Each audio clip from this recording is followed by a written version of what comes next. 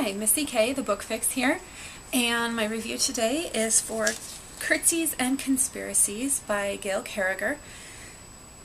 If you know me, you know that Gail Carriger is one of my favorite authors, and anything she writes I'm going to love, and this is no exception.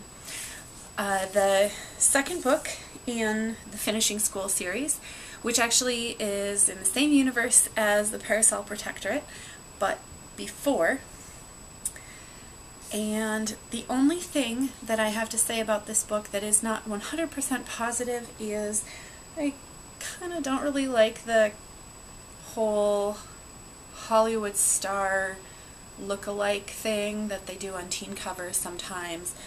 And yep, that's totally Keira Knightley, except not really. So anyway, I love this book. It is full of adventure and steampunk and uh, hilariousness and fun characters that you just love. And there's even a tiny little hint of romance. They're only like 15 or something. So it's fine that, you know, in a Victorian setting they wouldn't be super romantic yet, but there's a little bit and it makes me very happy actually, um, the relationship that seems to be forming. But either way, so much fun, so much adventure, great little mysteries. I love this series. The end.